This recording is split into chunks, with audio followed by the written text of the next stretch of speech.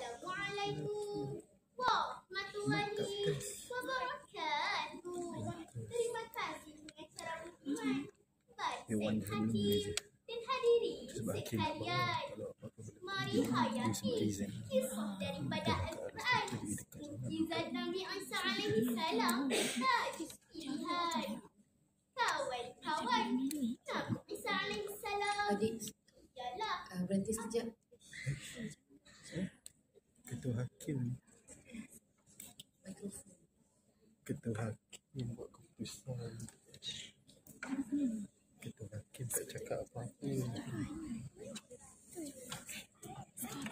Ha, Dia tak boleh baca. Tak. Tak cakap apa-apa. Sebab hakim dengar Hakim dengar ambil waktu Ini pertandingan baik Bila sebelum dia ada masalah orang dari semua berjaga-jaga.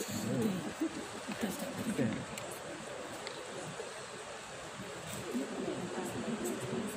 Assalamualaikum warahmatullahi wabarakatuh. Terima kasih pengacara Budiman, barisan hakim dan hadirin sekalian. Hayati kisah daripada Al-Quran. Mukjizat Nabi Isa alaihi salam tajuk pilihan. Kawan-kawan, Nabi Isa alaihi salam ialah anak kepada Maryam binti Imran. Baginda berasal daripada keturunan Nabi Zakaria. Baginda dikurniakan dengan pelbagai mukjizat untuk berdakwah kepada kaum Bani Israel. Lahirnya Isa penuh kemuliaan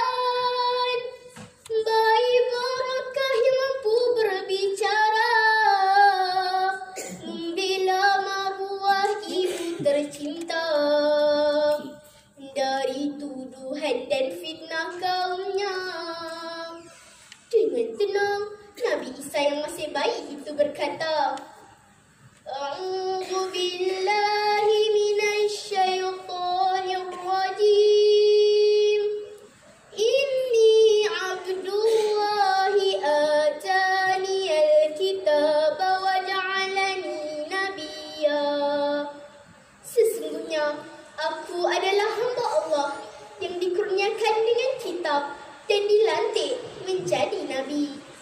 Potongan ayat 30 surah Maryam. Ya, terbuktilah ibunya seorang wanita yang suci dan dimuliakan Allah. Ya, kawan-kawan, anak adalah anugerah Allah yang wajib dijaga. Namun, hingga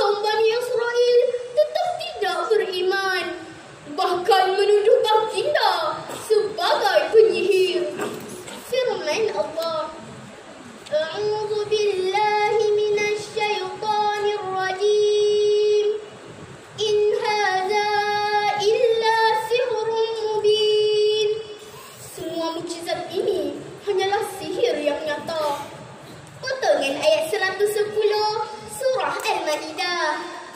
Ya kawan-kawan, Allah memberikan kelebihan kepada hamba yang dikasihinya. Lihatlah kepitahan Dr. Zakir Naik berhujah digunakan untuk berdakwah. Kawan-kawan, Nabi hanya ditemani oleh pengikutnya yang setia dikenali sebagai Al-Hawariyun.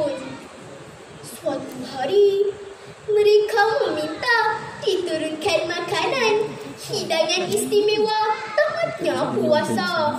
Dipuju baginda tunaikan permintaan agar memohon kepada yang esa. Akhirnya Nabi pun berdoa kepada Allah. A'udzu billahi minasyaitonir rajim. Allahumma rabbana anzil alaina ma'idatan minas sama. Wahai Tuhan kami, turunkanlah kepada kami hidangan dari langit. Potongan ayat 114 surah Al-Maidah. Ya kawan-kawan, Allah Maha Berkuasa menjadikan apa yang dikehendakinya. Lihat sahaja banjir tsunami. Kibantin,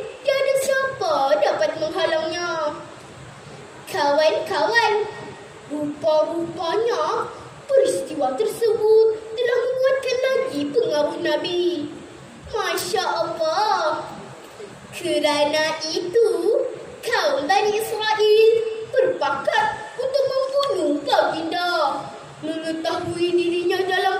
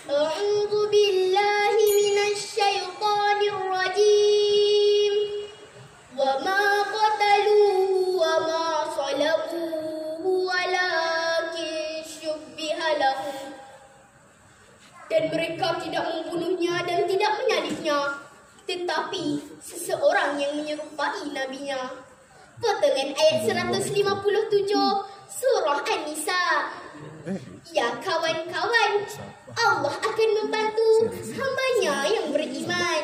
Sama-samalah kita berdoa agar Allah menyelamatkan saudara Uyghur di China. Kawan-kawan, Nabi Isa telah diselamatkan daripada dibunuh dan diangkat ke langit. Baginda akan diturunkan semula pada akhir zaman nanti untuk membunuh Dajjal Durjana. Demikianlah kawan-kawan kisah mukjizat Nabi Isa alaihi salam. Sekian wabillahi taufik wal hidayah. Wassalamualaikum warahmatullahi wabarakatuh.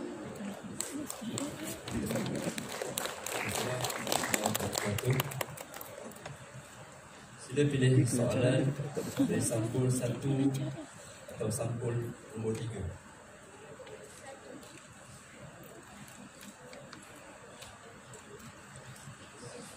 Soalan spontan sampul nombor satu.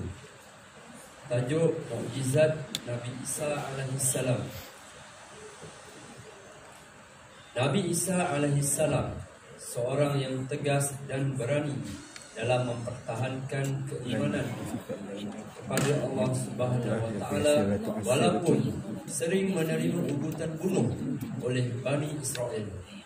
Soalannya, sila adik ceritakan satu kebaikan sifat berani kerana benar.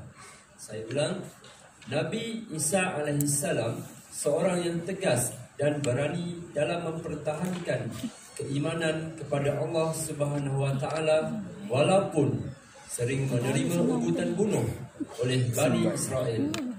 Soalannya, sila adik ceritakan satu kebaikan sifat berani kerana benar. Satu minit untuk persediaan.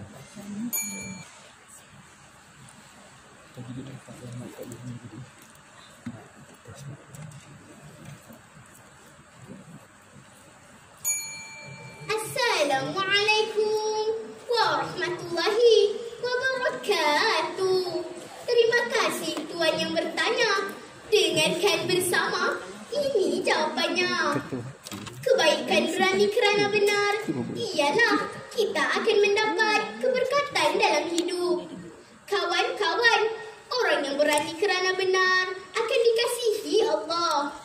Contohilah Nabi Isa yang berani dakwah. Boleh sabar. Oleh itu, beranilah dalam apa jua keadaan dan perbaikilah diri supaya menjadi insan yang lebih baik. Sebagaimana firman Allah, A'udzu billahi minasyaitonir rajim. Kuntum khayra ummatin ukhrijat linnas ta'muruna bil ma'ruf wa tanhauna 'anil munkar. Kamu adalah umat terbaik yang dilahirkan untuk manusia, menyuruh kepada yang ma'ruf dan mencegah daripada yang mungkar. Potongan ayat 110 surah Ali Imran. Akhir kata, marilah kita menjadi orang yang beriman dan beramal soleh supaya hidup bahagia di dunia dan di akhirat. Sekian, wabilahi taufik, wal hidayah. Wassalamualaikum warahmatullahi wabarakatuh.